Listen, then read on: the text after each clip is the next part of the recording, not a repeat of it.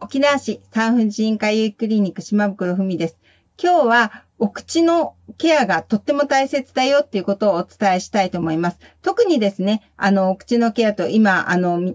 すぐ気になるところでコロナウイルスの感染症の予防、それからあと認知症の予防にもお口のケアが非常に大切だっていうことを学んだのでお伝えします。で、こちらの方ですね、あの、愛媛県松山市の西田渡る糖尿病内科の先生が、あの、ヘルシーパスというね、あの、サプリメント会社の、あの、会社の主催のセミナーでお話しされてて、その内容がね、非常にわかりやすくて面白かったので、あの、伝えた、したいと思います。で、西田先生の語り口がね、またすごい面白いんですよ。だから直接本当は西田先生に聞いた方がいいかもしれないんですけど、まあ、このセミナーはね、あの、クローズの、あ、なんか、特にあの、なんていうのかな、あの、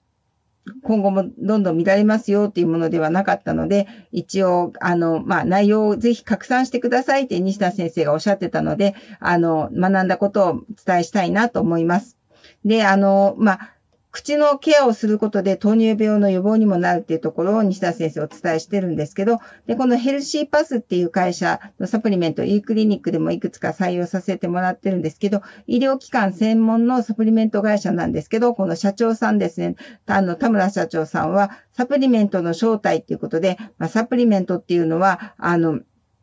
結構、あの、やばいものが多いと、市販のものですね。あの、その、サプリメントを作ってる工場主たちがあんなもの絶対飲まないなんていうふうに言うようなものまであるよっていうことで、やっぱり安いものとかね、あの、あったりしてピンキリなので、それは注意するのと、まあ、あの、田村社長さんの本ではね、あの、サプリメント取るより食事をちゃんとしましょうなんていうような本をね、サプリメント会社の社長さんが書いてたりするって、そういうような、あの、会社なんですけど、まあ、そこで、あの、健康についてもいろいろ情報発信してるっていうところですね。で、あの、今回の、あの、西田先生のお話なんですけど、えっと、お口の健康が、まあ、全身の健康に関わるから、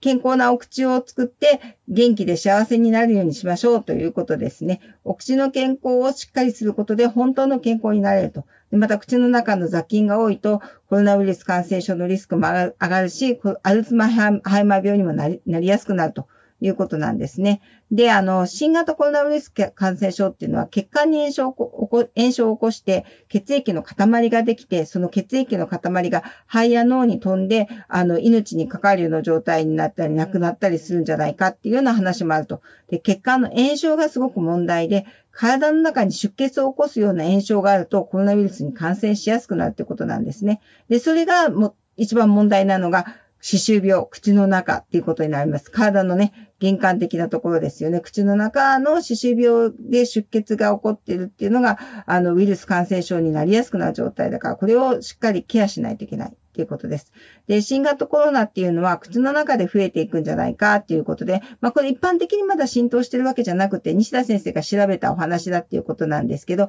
まあ唾液腺、あの、唾液を作る、あの、ところにも感染してしまうということなんですね。これがパソロジーっていう雑誌で、あの、自家製にコロナウイルス感染が組織で検出されたっていうの報告もあったりすると。で、まあ、あの、歯周病で口の中に出血が起こっている人はウイルス感染も起こりやすいし、また口の中の感染があると、ウイルスが口、あの、つきやすくなって、口の中で新型コロナウイルスっていうのは唾液のが中でどんどん増えていってしまうんじゃないかっていうことなんです。で、アルツハイマー病のお薬っていうのは基本的に今決定的にね、これが効きますっていうのはなくって、まあ、ヘルシーパスのあの会社のセミナーでも前に聞いたのは、アルツハイマー病の真実っていう本があるんですけど、まあ、その本の中では、あの、リコード法っていう、あの、アルツハイマー病を対応する、あの、治療法について紹介してるんですけども、これがすっごい細かくて、ものすごいたくさんのルールがあって、まあ、とりあえず糖質を取りすぎないとかね、小麦も避けた方がいいとかね、運動しろとかね、もういっぱいの方法があるんですけど、これ全部やるの本当に大変じゃないかなって思うんですけど、まあ、そういうことをしないと、アルツハイマー病の原因っていうのは一つじゃないから、この薬飲めば効くよっていうのはないと。まあ、その中ででもですね、あの、歯周病菌とアルツハイマー病の関連があると報告されていて、この歯周病菌をやっつけるお薬がアルツハイマー病の治療として効果があるんじゃないかっていうことで、まあ、治験が進んでるっていうことです。で、まあ、あの、この歯周病の、あの、菌ですね。これがね、鉄が好きで鉄のたくさんある血液を餌にしてどんどん増える。あと酸素が苦手。こういった特徴を持ってるみたいなんです。で、ちょっとここで歯周病について簡単にお伝えするんですけど、口の中が不潔になって虫歯菌がいっぱいに増えて歯にくっつくと細菌がいっぱい歯にくっついて、あの、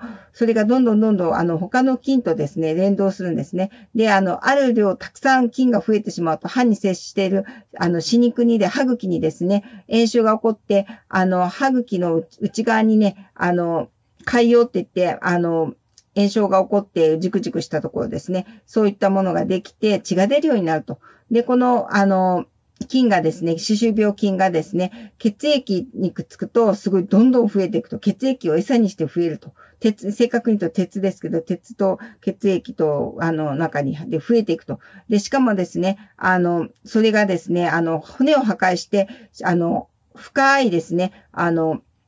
酸素が届かないような刺繍ポケットっていう溝の中に菌がどんどん入っていて、そこで増えていく。で、この溝が4ミリ以上になると、溝の奥は酸素が減っていって、で、酸素が苦手なこの PG 菌、歯周病菌がですね、どんどん増えていくということで、で、体はですね、この菌を取り除こうとして菌を攻撃するんですけど、結果的には菌を攻撃しているのが骨をどんどん溶かしてしまう。で、これがどんどんし、あの、ポケットが広がっていって、骨もどんどん溶けてしまって、歯がポロッと抜けてしまうみたいなね、そういう病気になってしまう。これが歯周病なんですね。で、この歯周病を予防するためには、この菌に血液で餌を与えないようにする。で、酸素のない住処を使作らないようにする。だから、歯周ポケットを作らないようにしないといけないっていうことなんですね。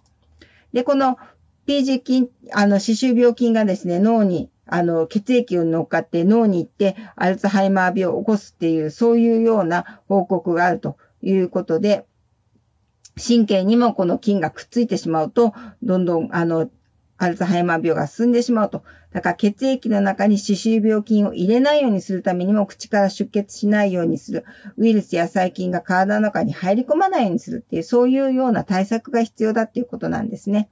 で、まあ自分では、その歯周病があるのかないのか全然自覚症状がないくて気づかない。よくね、あの、歯茎から出血しませんかって意外と出血しなかったり。普通に磨いてる分には。歯と歯の間にね、あの、この汚れが溜まってても、普通に歯の表面磨いてるだけでは全然出血しなくて気づかなかったりする。だから大事なのは、歯医者さんに行って、あの、刺繍ポケットをチェックしてもらって、4ミリ以上の刺繍ポケットがないかどうかっていうのをチェックしてもらわないといけないですよっていうことなんですね。